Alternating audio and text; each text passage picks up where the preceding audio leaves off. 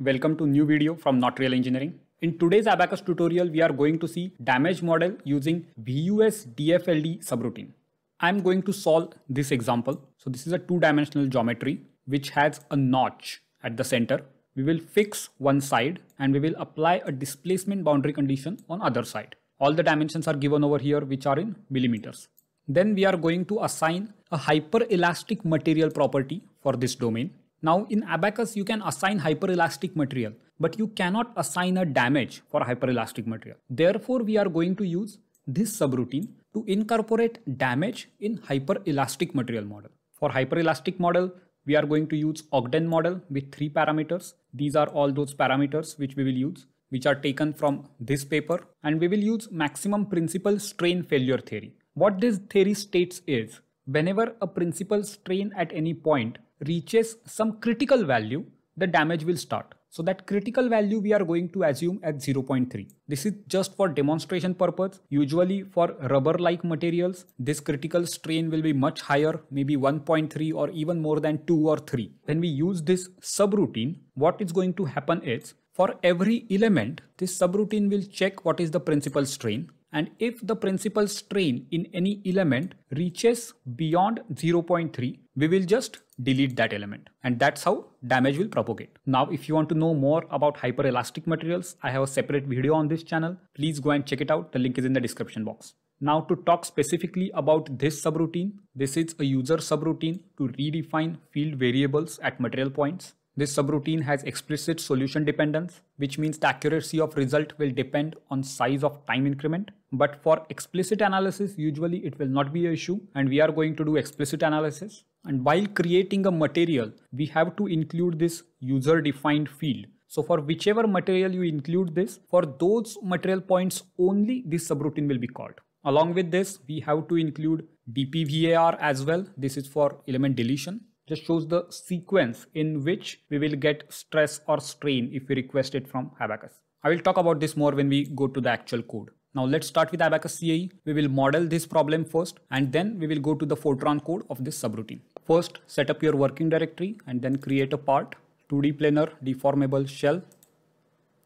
First, let's create a rectangle. First corner 0, 0 and second corner 10, comma 10.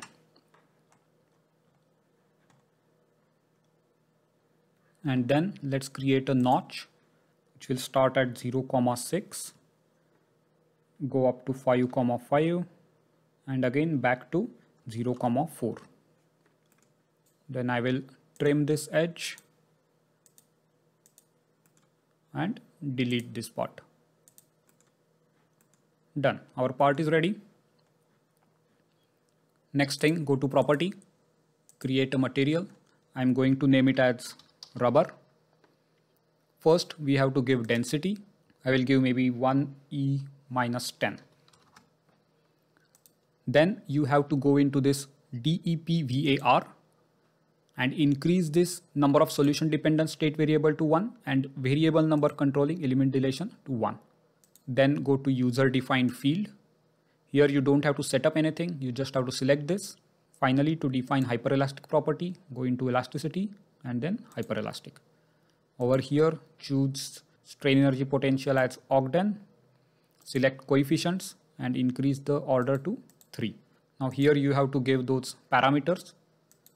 I will just input these parameters mu1, mu2, mu3 and alpha1, alpha2, alpha3 from this table to Abaqus CAE.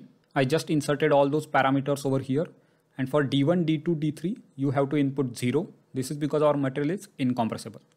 Then say OK let's create a section. Maybe again name it as rubber. Solid homogeneous section with material rubber. And then assign the section. Then go to assembly create a instance. Next go to step. Let's create a dynamic explicit step. Say continue. Over here total time i'm giving 0.01 say okay no need to change anything else then go to load first let's fix the bottom edge for bottom edge u1 u2 0 and then let's apply displacement boundary condition on the top edge I will select this top edge and I'm going to give displacement U2 as 4. Now for dynamic analysis, we have to define amplitude. Therefore, let's create one amplitude, tabular amplitude, and just a simple amplitude. For time 0, amplitude should be 0. And for time 0.01, which is our step time, amplitude should be 1. That's it. Say OK. And then select that amplitude over here. And then say OK. So displacement boundary condition is done. Next, go to mesh. For mesh, first go to part. And over here, there will be a stress concentration across this notch and the crack will propagate in this straight line. So I'm going to keep fine mesh over here and coarse mesh near the boundary. For that, let's make some partitions. First, I'm going to make partition like this. And then maybe one circle near the crack notch. Let's say like this. Okay, looks good.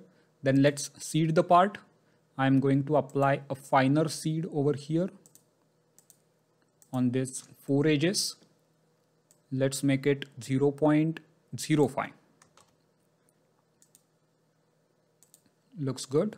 Here also maybe fine seed 0.05.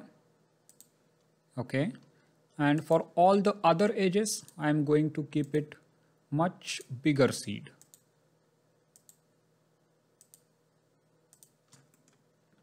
let's keep it maybe 0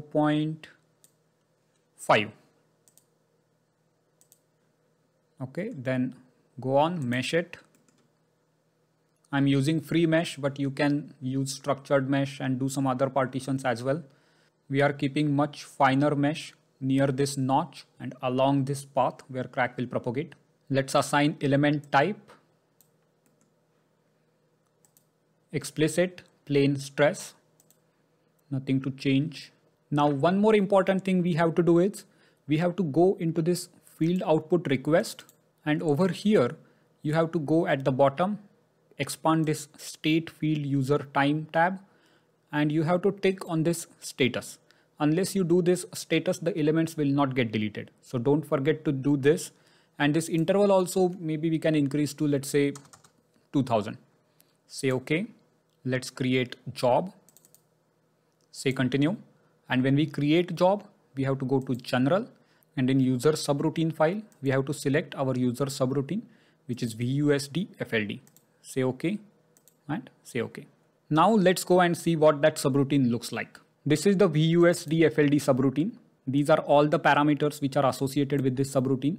To incorporate maximal principal strain theory what I am doing over here is I just added some more terms which we will use for our calculation First, we are accessing the strain data for all the material points. And this is just to check if we are getting strain data correctly or not. If we don't get, it will give an error. But don't worry about this part. It's okay if you don't include this as well. This is just optional. Once we ask for this strain data, it will get stored in this R data and it gets stored in a sequential way. So it is flattened tensor and this is a 2D case. Therefore, we will have four components E11, E22, E33 and E12 and the sequence in which you have to access them is given over here in this table. So you can see for 2D case, first component will be always 1, 1, then 2, 2, 3, 3 and 1, 2. Same for stress and strain. And if you are using it for 3D, this is the sequence in which all the components will be given. So from that data, we are just separating out all four components. And once we have these all four components, we can calculate principal strain. Here Abaqus will not give you directly the principal strain as an input to this subroutine. It will always give you just strain components and you have to calculate maximum principal strain and minimum principal strain by yourself. Now this is just a representative example so I am not using minimum principal strain at all. What I am doing is I have defined a critical strain value which I have defined at 0.3 as I mentioned over here and then what we are checking is if maximum principal strain is greater than critical strain or not. If it is greater then this state variable we will set it as 0. And when this state variable becomes 0, that element gets deleted. So very simple subroutine, just calculate principal strain and check if it is exceeding the critical strain or not. If exceeding, set this variable to 0 and the element will get deleted. You can use this same subroutine and implement maximum principal stress failure theory as well. Here you can calculate principal stress instead of strain. For that here you can just ask for stress data instead of strain data. Now if you want this code, this code is already uploaded on our channel's GitHub profile and the link for this in the description box below. Over here you can see this code is already available. You can also download this code. You just have to go back and click on this download code option over here download zip. And you can download the code and you can change it as per your need. You can also go to not real engineering homepage in github and you can see all the other codes as well which are used on this channel. Now let's go back to Abaqus CAE and run this example. Let's submit the job. It will take some time as it is explicit analysis. I will just fast forward over here a few moments later Okay, job is completed. Let's see the results. And now if we see the deform shape, yes, see the crack propagated in straight line and sheet is just now in two pieces. Let's animate this in time history and see how crack propagates. You can see over here there is a stress concentration near the notch and once strain reaches the critical value, the crack will start to propagate. That looked amazing. Let's watch it again a bit closer. See the stress concentration. And now crack will start. Yep, that was cool. Sheet is under tensile load now. And once crack propagate, these fluctuations as because that tensile load is released. And after some time, if we have damping, it will come to stop. But we don't have damping, that's why these oscillations will go on. If you want to know how to insert a damping, I have a separate video about it. You can check this video, link is again in the description box. That's it for this video. If you like this video, please show your support by subscribing to this channel, which will give me motivation to create more educational videos like these. You can also go to channel's playlist tab and here you can see all the videos with similar topics combined together. For example, let's say if you're interested in ANSYS tutorials, you can go to this ANSYS tutorial playlist and see all the videos from this playlist. All the codes and files which I use for these videos are also available for you to directly download from this channel's GitHub profile. The link of this profile is given in the description box below. If you have any questions, please let me know in the comment section below. And as always, thank you for watching.